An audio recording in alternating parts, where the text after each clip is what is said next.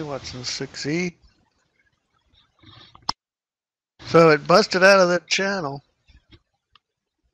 And see how the momentum bars are going from black to gray to light. And now we have a big blue.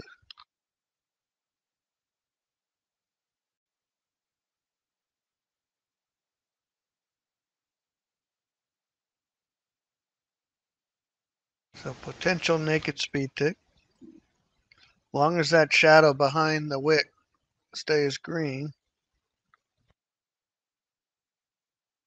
Okay, I bought the naked speed tick.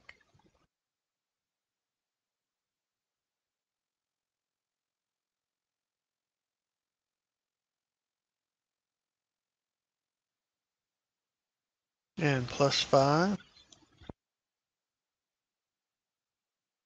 So this is a our naked speed tick. Notice that we had a channel. We busted out of the channel. We started gaining some momentum here. And then that sudden burst, pullback alert, we have this climactic volume box around it.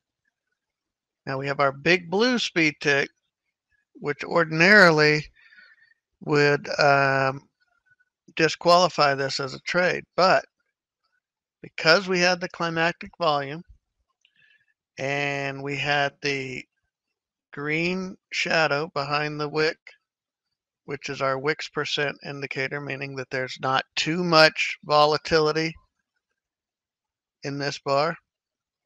We got our pullback alert, open of this bar, or better, you may have gotten a better fill was your point of entry and plus five.